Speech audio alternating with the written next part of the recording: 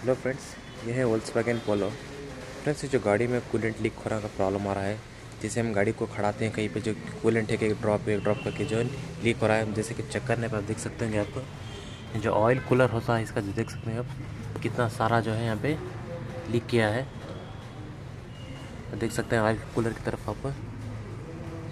क्योंकि round square जो इसका जो कूलेंट है, सारा जो है खाली हो चुका है। जितना डाल रहे हैं इसमें पूरा जो है खाली हो चुका है। जो गाड़ी को मैं स्टार्ट किया नहीं फिर भी देख सकते हैं आप कितना सारा जो है एक एक ड्रॉप एक ड्रॉप करके जो है कूलेंट लीक हो रहा है इसमें से। आप देख सकते हैं प्रॉपर जो सारा जो कूलेंट लीक हो रहा है ऑयल ऑयल कूलर की तरफ़ से लीक हो रहा है। जो नेक्स्ट टाइम इसके ऑयल कूलर है ऑयल कूलर को बाहर निकालेंगे। आप देखो, दिखाएँगे कहाँ से जो लीक हो रहा है जो ऑयल कूलर होता है, उधर से ही आपको जो है कूलेंट आपको लीक हो रहा है। देख सकते होंगे आपको स्क्वायर आपको देख सकते हैं गाड़ी गाड़ी के नीचे से दिखाऊँगा आपको। तो फ्रेंड्स आप देख सकते हैं कि जो ऑयल कूलर की तरफ़ अब कितना सारा जो कूलेंट है पूरा लीक हो चुका है क्योंकि ऑलरेडी आप देख सकते हैं कितना सारा जो इंजन के क्रैंकेस के मैट के ऊपर आप देख सकते हैं देख सकते हैं कितना सारा जा रहा है जो नेक्स्ट टाइम इसको जो है ऑयल कूलर है ऑयल कूलर को बाहर खोलेंगे। देख सकते हैं आप जो नेक्स्ट टाइम ऑयल कूलर को बाहर निकालेंगे। फिर सबको गाड़ी के नीचे से भी आपने दिखा दिया जो नेक्स्ट टाइम इसको है। ऑयल कूलर को बाहर निकालेंगे आपके देख सकते हैं इसकी फ्लोवर नंबर क्या लगे कि चारों बोल्ट आते हैं इसके। देख सकते हैं आपको, बड़ा कंजेस्टेड एरिया है आपको, फिर भी दिखा रहा हूँ। इसको चारों जो लंकी बोल्ट्स होते हैं इसके फ्लावर, इसके चारों बोल्ट खोल के जो है उसके पाइप को निकाल के जो है ऑयल कूलर है बाहर निकालेंगे। फ्रेंड्स, आप देख सकते हैं फ्रंट शेप को जो है बाहर निकाल चुका हूँ।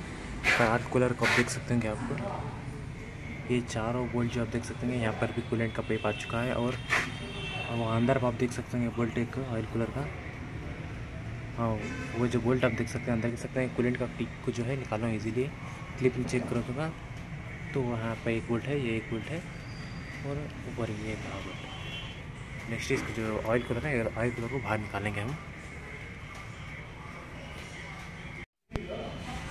फ्रेंड्स आप देख सकते हैं इसका ऑयल कूलर को बाहर निकाल चुका हूँ। इसके चार जो है बोल्ट है, फ्लोर टाइप के फ्लोवर टेप के, इसके बोल्ट को निकाल चुका है इसका ऑयल कूलर यहाँ पर देख सकते होंगे जो ऑयल का पोर्शन होता है, यहाँ पे ओरिंग बैठने का इसका डायरेक्शन पूरा जो है यहाँ पे डैमेज हो चुके हैं, यहाँ पे ओरिंग बैठने के लिए एक स्टप दिखेगा। तो यहाँ पर देख सकते होंगे स्टप ये जो स्टप देख रहे हैं, यहाँ से पूरे तरफ़ से जो है टूटा पड़ा हुआ है यहाँ से, और यहाँ से हल्का सा एक पीस यहाँ पे टूटे पड़े, जैसे कि आपको पीस उसको दिखाने की कोशिश करूँगा। देख सकते होंगे इधर की एक पीस है, यहाँ पे जो है, टूटी पड़ी है और यहाँ की पीस की जो है, यहाँ सारी जो पीस होती है, यहाँ की पूरी ऑलरेडी डैमेज हो चुकी कहीं टूट चुकी है। इसीलिए जो कूलेंट है लीक हो रहा है इसका। ओरिंग आप देख सकते हैं इसकी ओरिंग की कंडीशन भी आप देख सकते हैं किस तरह की हो चुकी है। जो कूलेंट स्टार्ट करने पर बार बार लीक होने के बाद देख सकते हैं। इसलिए हम इसका जो ऑयल कूलर है ऑयल कूलर को चेंज करेंगे इसको।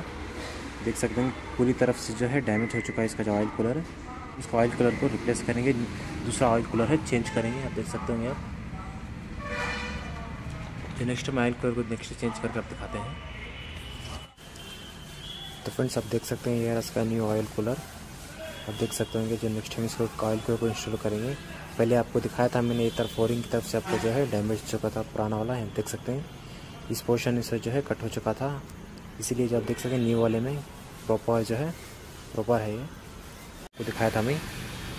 जो नेक्शियम्स को बोर में से अच्छा से क्लीन करके जो है वो देख सकते हैं एम्ब्रिया मार के जो तो फ्रेंड्स आप देख सकते हैं, इसका जो ऑयल कलर है इंस्टॉल कर चुका हूँ। और इसकी पाइप को जो पाइप डाल चुका हूँ देख सकते हैं कि इसके चारों जो फ्लावर टिप के बोल्ट होते हैं। और देख सकते हैं, चारों बोल्ट डाल के जो यहाँ पे एक पाइप है। उस पाइप को जो हल्का सा ना बॉल डाल के जो है पाइप बिठाना होगा। इसकी बिट आप देख सकते हैं, इसकी इस तरफ़ की फ्लावर टिप की बिटाएगी आपको। तो इस तरह की बिट से जो इजीली आप सारे बोल्ट है कंप्लीट इसके टाइट कर सक टाइट कर और लूज़ कर सकते होंगे। चाइना बोल्ट को जो दिखा चुका हूँ, और एक बोल्ट आपको अंदर की तरफ़ जो एल्बो की सीट आप देख सकते होंगे। अंदर में वो रहा इसका बोल्ट खोलने में थोड़ा दिक्कत है, नहीं तो आप इजीली वो अंदर के बोल्ट के लिए इस तरह के लंकी से भी आप खोल सकते होंगे।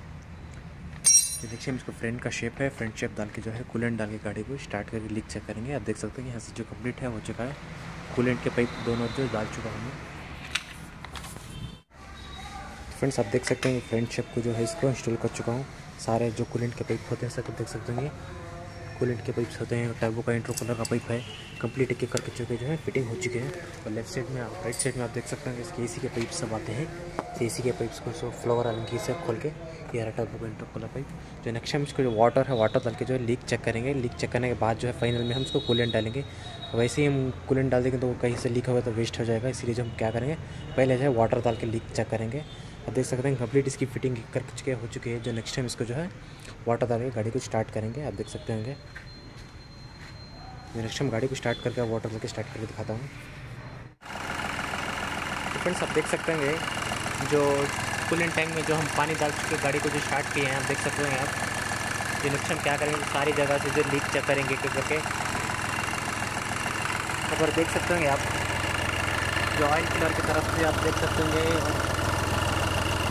तो कहीं से भी एक करके तो फ्रेंड्स आप देख सकते हैं कंप्लीट हो चुका है। जो नेक्स्ट टाइम इसको जो कूलेंट टैंक में जब वाटर डाले थे, सारा निकाल चुके हैं। कूलेंट आप देख सकते हैं रेड कलर का कूलेंट है। कूलेंट को डालकर कंपनी में रिकमेंड यही आपको कूलेंट देख सकते होंगे आप। तो ऑयल कूलर की तरफ़ भी आप देख सकते हैं, कहीं से भी एक ड्रॉप करके जो कूलेंट है लीक नहीं है। गाड़ी को रन करके आ चुके हैं हम, इसमें आप देख सकते होंगे आप। नीचे भी आप देख सकते हैं, कहीं से भी लीकेज नहीं है। जो नेक्स्ट टाइम इसको बम्पर डाल देंगे तो कंप्लीट इसका काम हो चुका है। दोनों हेडलाइट को जो है बढ़ा चुका हूँ मैं।